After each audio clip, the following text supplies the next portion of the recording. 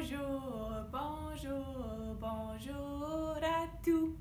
Bonjour, bonjour, comment allez-vous?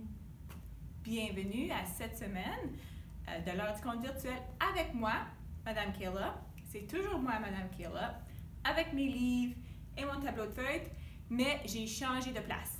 Donc, vous allez remarquer que je ne suis plus dans la section des enfants à la bibliothèque parce que nous sommes maintenant ouverts. Donc, je me suis trouvé un autre endroit un peu plus tranquille pour faire mes vidéos. Et c'est ça. Donc, me voici. Euh, j'ai pas d'autres annonces. Donc, cette semaine, le thème est celui de, des couleurs. Euh, comme j'ai dit en anglais, je voulais vraiment, vraiment faire mon tableau de feuilles sur des toits souris peintres, c'est ça le nom. Euh, puis j'étais pas trop certaine si j'étais capable de trouver au moins deux livres de couleurs, mais en fait j'en ai trois. Donc ça a vraiment très bien fonctionné. J'ai eu beaucoup de plaisir à faire euh, cette heure du compte. Donc on va commencer. Donc je commence avec un livre aujourd'hui et c'est Le loup qui voulait changer de couleur par Oriane Lallemand et Eleanor Tueli et c'était publié par Ozo. Donc, on va voir qu'est-ce qui fait notre loup aujourd'hui. Il était une fois un gros loup noir qui n'aimait pas sa couleur. Il trouvait le noir trop triste. Lundi, le loup essayait le vert. Il plongea sa patte dans un pot de peinture verte et se barbouillait le corps.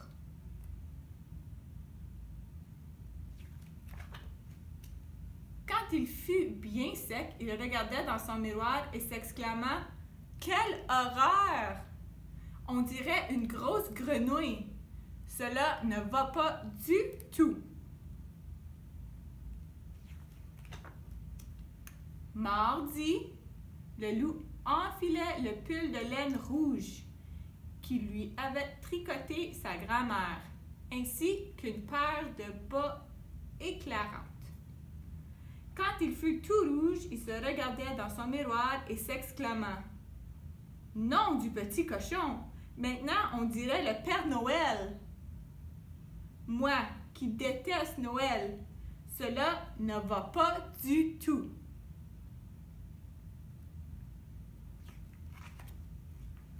Mercredi, le loup se faufila chez le fermier et cueillit toutes les roses de son jardin. Puis il se couvrit le corps de pétales de fleurs.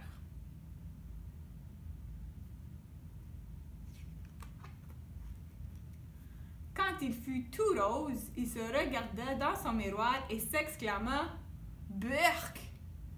Voilà que je ressemble à une princesse. Cela ne va pas tout.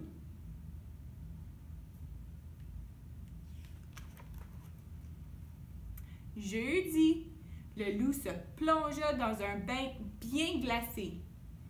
Il eut si froid qu'il y ressortit de la baignoire tout bleu. En claquant des dents, il se regardait dans son miroir et s'exclama! Le bleu me donne très mauvaise mine. Cela ne va pas du tout.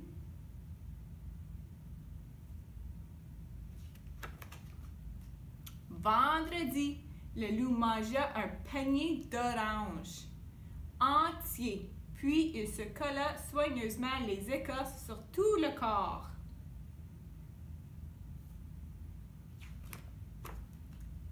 Il eut terminé, il se regarda dans son miroir et s'exclama Quelle horreur De près, on dirait une carotte géante. Et de loin, je ressemble à un renard. Cela ne va pas du tout.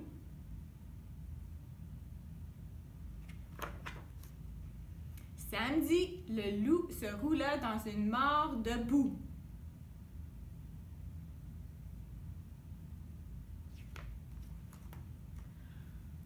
Il fut tout marron, il se regarde dans son miroir et soupira.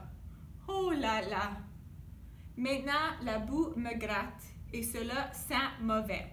Cela ne va pas du tout.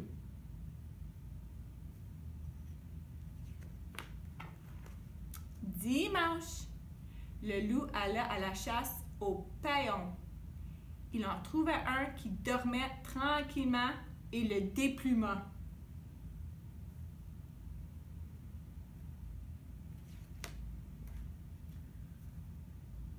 Il fut paré des plumes du paillon, il se regardait dans son miroir et s'exclama Oh, comme je suis beau cette fois!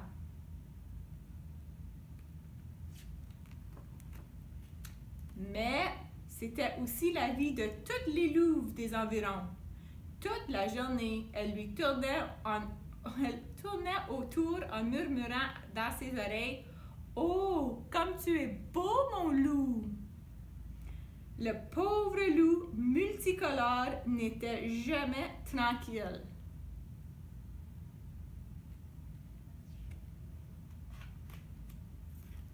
Un soir, à bout des nerfs, le loup se regardait dans son miroir et dit Cela ne va pas du tout. Je ne veux plus être ni vert, ni rouge, ni rose, ni bleu, ni orange, ni marron, ni multicolore. Finalement, je suis très bien en loup.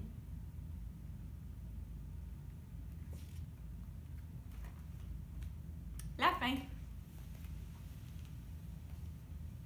Donc maintenant, j'ai mon tableau de feuilles et c'est l'histoire de trois souris peintres. C'est un livre qui est écrit par Ellen Stoll Walsh et je l'ai tourné dans un tableau de feutre. Cette histoire, c'est à propos de trois souris blanches. Et au début de l'histoire, ils se retrouvent sur une page blanche. Et le chat ne les trouvait pas. Mais un jour, pendant que le chat dormait, les souris ont trouvé trois pots de peinture. Un pot rouge, un pot jaune et un pot bleu. Les petites souris étaient toutes excitées qu'ils ont sauté dans les pots. Et après cela, une souris était rouge, l'autre souris était jaune et finalement, l'autre souris était bleue.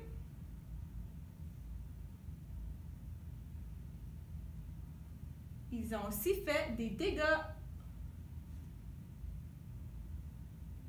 et ont mis de la peinture un peu partout.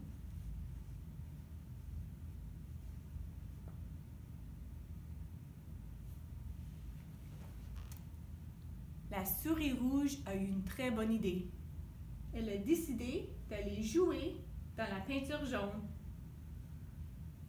Donc, elle dansait des pieds et faisait bouger la peinture tout autour.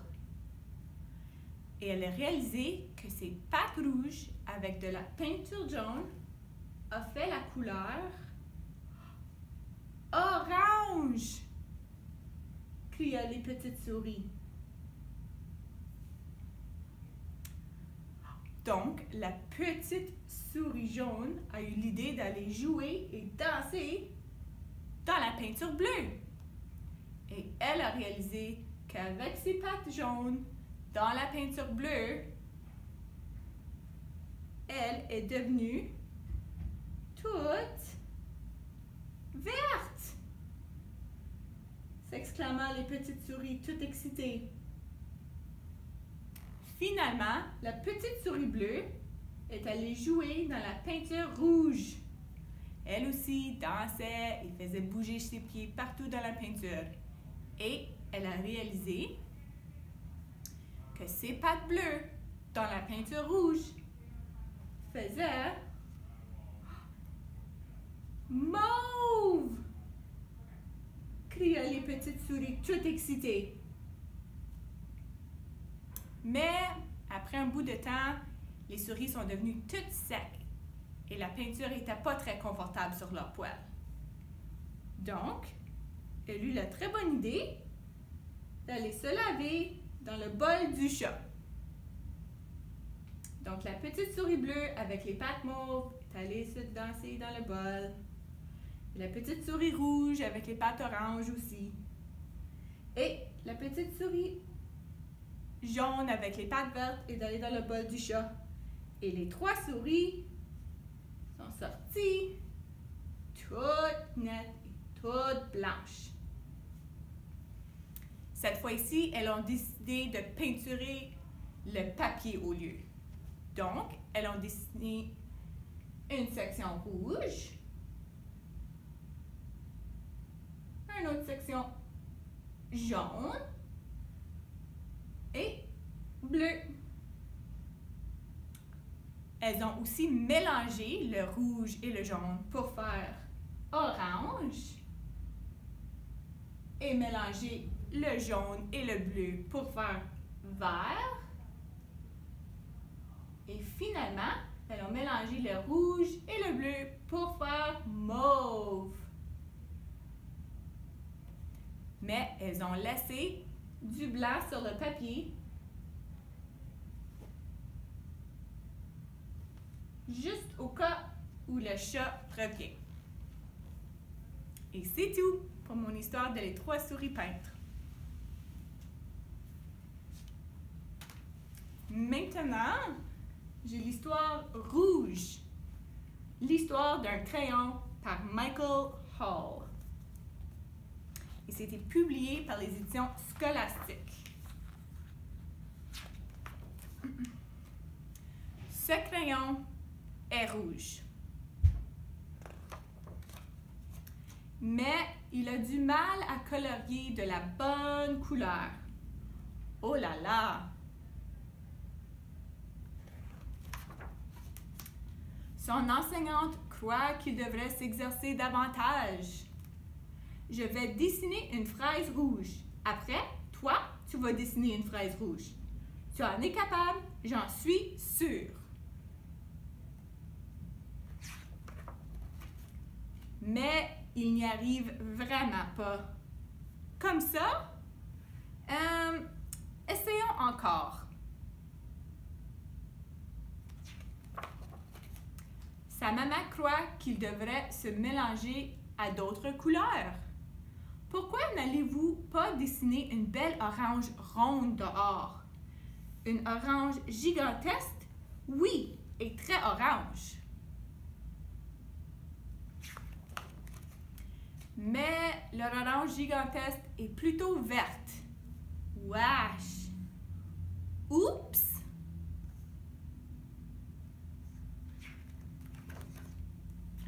Ses grands-parents croient qu'il devrait se couvrir davantage. Les élèves de ta classe font des autoportraits pour la soirée des parents. Mais donc ce foulard rouge bien chaud. C'est tellement toi.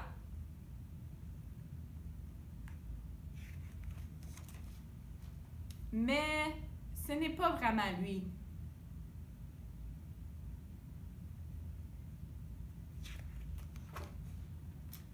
Tout le monde semble avoir son mot à dire.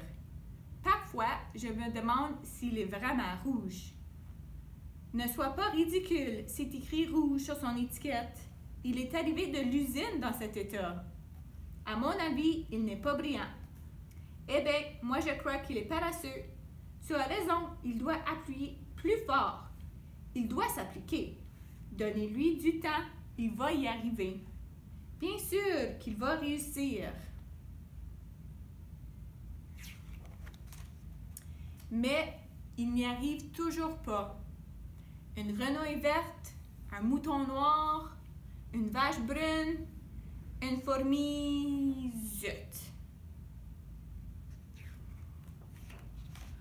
Toutes les fournitures artistiques veulent lui venir en aide. Le ruban adhésif croit qu'il est brisé. Cela va tout arranger. Les ciseaux croient que l'étiquette est trop serrée. Une petite incision devrait faire l'affaire. Moi, je crois qu'il est mal aiguisé. Ne bouge pas.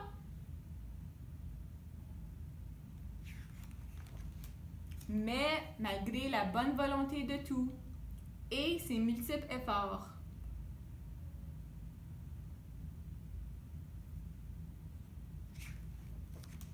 il n'y arrive tout simplement pas.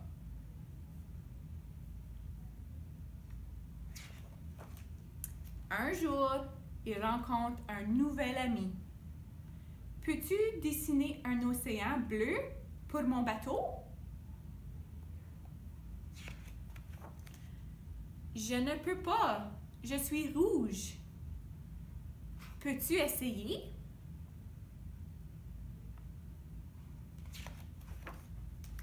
Alors, il décide de tenter sa chance. Merci, c'est parfait. De rien, c'était facile. Et il ne s'arrête pas là. Des fleurs bleues, un jeans bleu, un oiseau bleu, une baleine bleue, des bleuets. Je suis bleu.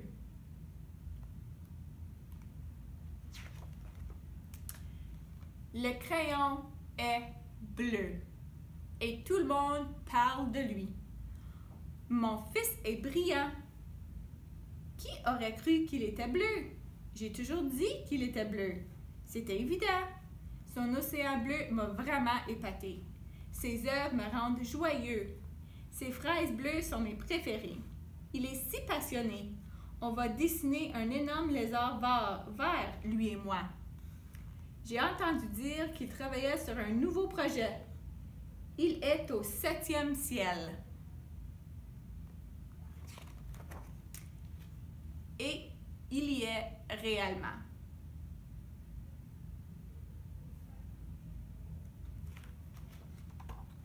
La fin. Donc, notre bricolage pour cette semaine était des petits arcs-en-ciel. C'est des assiettes en papier découpées. Et là, j'ai sorti de la peinture. Nous avons collé les petites boules de coton. Et c'est ça. Donc, pour aller avec, j'ai une petite chanson des couleurs de l'arc-en-ciel. Euh, c'est à l'heure de frère Jacques. Donc, rouge et orange, blanc, vert et bleu, jaune brillant et violet. Ce sont les couleurs que nous connaissons dans l'arc-en-ciel, dans l'arc-en-ciel.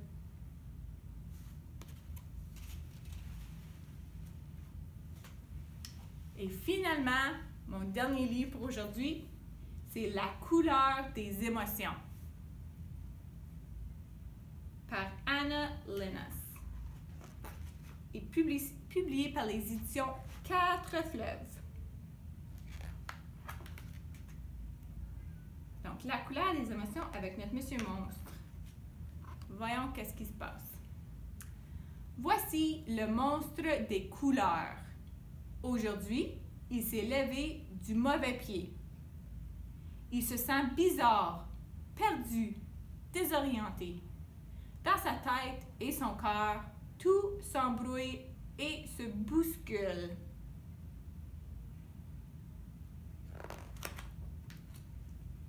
Mais qu'est-ce que tu fabriques? lui dit son amie la petite fille. Te voici tout barbouillé. Tu t'es encore émêlé les pinceaux?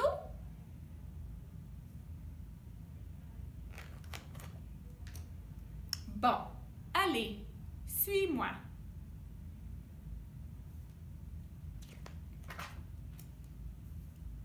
Regarde-moi cette pagaille. Tes émotions sont sans dessus dessous.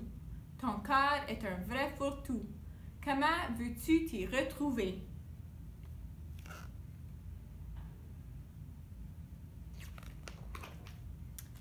Je vais te donner un conseil. Les émotions commencent les séparer, puis range-les chacune dans un flacon étiqueté. Ainsi, tu verras plus clair. Si tu veux, je peux t'aider à les reconnaître et y mettre de l'ordre pour te retrouver ton bien-être. D'accord?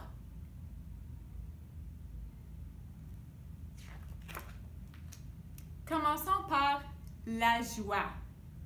La joie est contagieuse, merveilleuse. Elle brille comme le soleil et fait vibrer le cœur tel une abeille.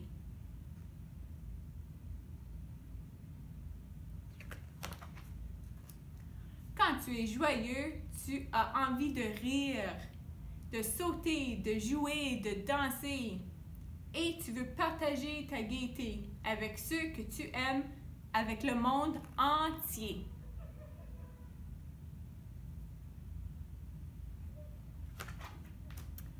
La tristesse.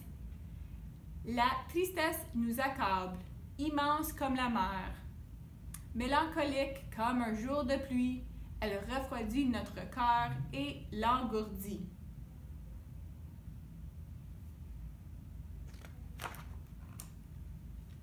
Quand tu es triste, tu n'as envie de rien. Si quelqu'un te manque, tu te sens seul, abandonné. Parfois, des larmes coulent de tes yeux.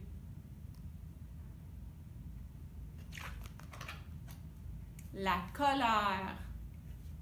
La colère est dévastatrice.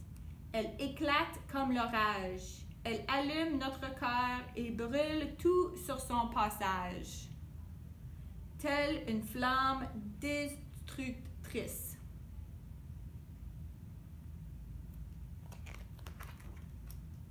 Quand tu es en colère, tu as l'impression d'exploser.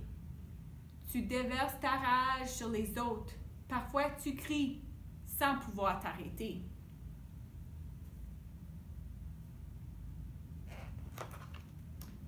La peur. La peur est lâche, sournoise. Elle étouffe notre cœur comme un serpent. Elle se cache dans la nuit tel un voleur.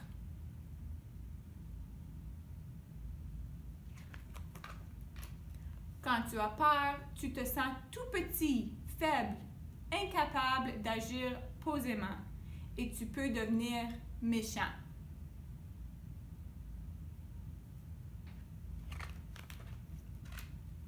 La sérénité.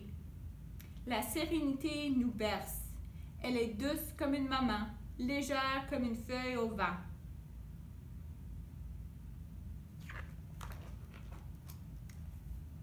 Quand tu es apaisé, ton cœur respire lentement, la vie se déroule aisément, tout te semble facile.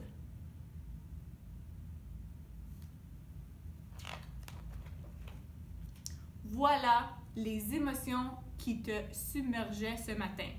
Tu vois, elles ont chacune une couleur différente.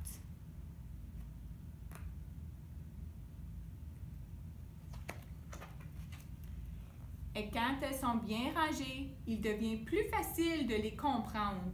C'est mieux comme ça, n'est-ce pas? Jaune, la joie. Bleu, la tristesse. Rouge, la colère. Noir, la peur. Vert, la sérénité. Savoir ce que l'on ressent, c'est important.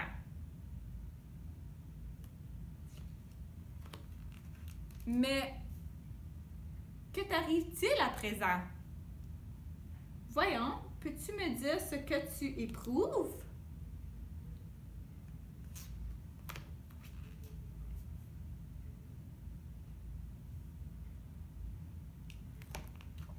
La fin.